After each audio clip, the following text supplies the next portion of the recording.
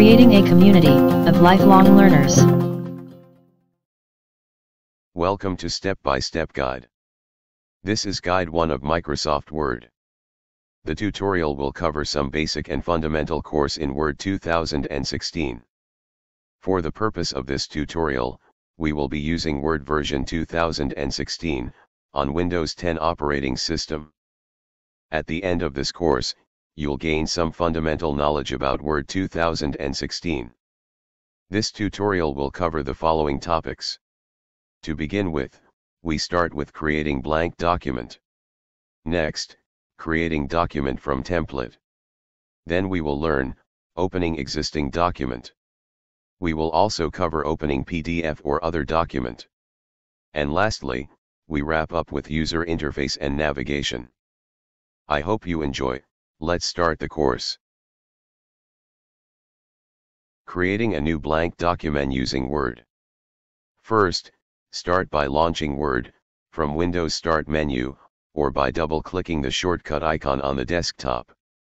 Here we are using Windows 10 operating system, and the version of Word is 2016.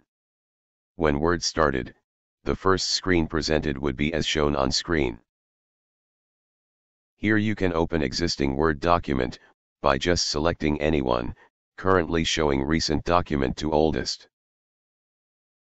Or you can also open, Word document which are not shown on the list, by clicking Open Other Documents link. Clicking Open Other Documents link, will open up another dialog box, as shown on screen, here you can browse for the location of the document to open. If you change your mind, and decided to create a new document instead, you can click the back arrow. Back on this screen, you have the option to create a blank document, or using document template. Document template, is an existing document with already predefined style, formats, and color, which require less modification. If you want to create document using templates, such as resume template or calendar template as shown, you can simply select the template. Here is the preview, when we selected snapshot calendar, if this particular template does not exist on your PC, it requires to be downloaded first from Microsoft Corporation website. So your computer needs to be connected to internet, in order for the template to be downloaded. Clicking Create Link, will prompt another dialog box, prompting to input the month and year. For this exercise, we decided to cancel and instead we will create a blank document. When Word create a new blank document, you will notice, the title bar section which has window controls at the right end, and also the blank document, opens with the default file name of document 1. From here, we can start creating our first document on the blank document. Creating Word document using template we have covered briefly creating document using template. Using document template will save time because styles, format, and color have been set and predefined. In this exercise, we will create a resume using BlueSphere's Resume template, from Microsoft Corporation. As mentioned earlier, the template has to be downloaded first to your local computer, before you can start using it. When we launch Word, we will select BlueSphere's Resume template. A preview of the template will be shown, click Create button to start using the template. Since I have already downloaded the template, I can start using the template.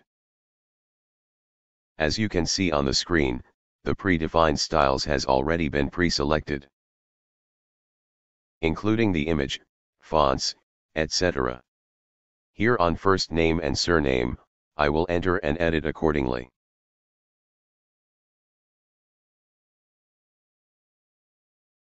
For this exercise, I would not change the image on the resume, I will leave it as is. I would enter the address, and subsequent information such as phone, email, and website accordingly.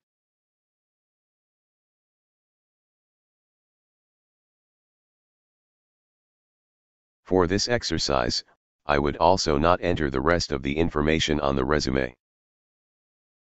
Since this is the first time I create this document, I would need to save it, so that I can retrieve it next time. Click File tab to access the Backstage view, then click Save As. I would select this PC and click Documents. A dialog box will pop up. By default, Word will take the first words to be the file name. Change the file name as resume.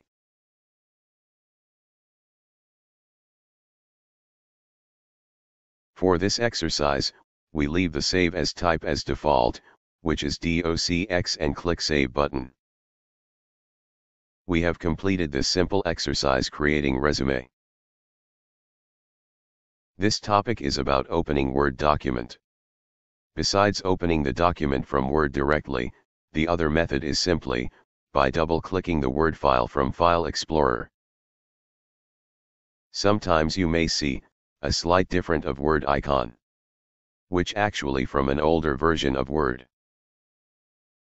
Like what you see on the screen, on the type of document, it is showing a Microsoft Word 97 2003 document. In our case, we can open this Word 97 document by double-clicking it. But in other cases, the document can't be opened, using Word version 2016. It could be due to, the file has been corrupted or damaged.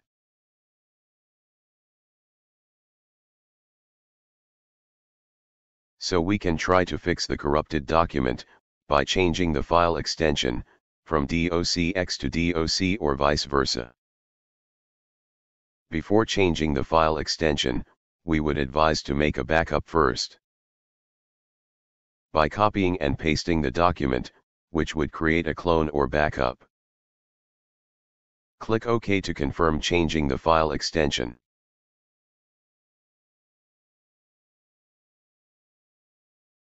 Now, this time, we would open from within Word itself.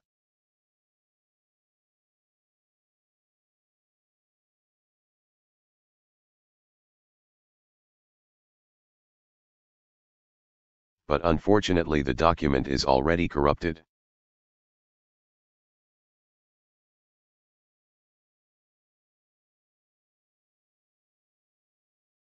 Do you notice, when you open document from Word, there is a drop-down arrow? In the drop-down, there is Open as Read Only. If we choose this option, the document would not be editable. As you can see on the screen you cannot make any modification to the document. Open as read-only sometimes is the default, when the document is in the network folder, not on local computer. Or when the file is already opened, by someone else. This is to prevent editing conflict, when more than one person editing the same document. The other open option is, open as copy, this scenario is quite similar, whereby the single document is already opened. But in this case, instead of open as read, you can have the option to open as different copy. In this case, when the document is open, it will create a copy of document. As you can see on the screen, on the title bar, the file name is changed to copy of document name. This concludes our short discussion about opening Word document. This topic is about opening PDF document using Word. Word document works best for PDF that contains mostly text. PDF document from copier machine generally will not be formatted well in Word document. For example, if you have a soft copy of receipt in PDF document, then Word might not be able to open it at all. When PDF document is converted to Word document, then you'll be able to edit and make modification. This is the steps to open PDF document in Word. Launch Word and click Open Other Documents link. Click Browse button and look for any PDF document. For this exercise, I have prepared a simple PDF document, so I will go ahead and open select this document. Click the Open button. Word will give a prompt message, saying they are trying to convert the PDF document, click OK to proceed. The PDF document is now open, and is rendered nicely in Word document.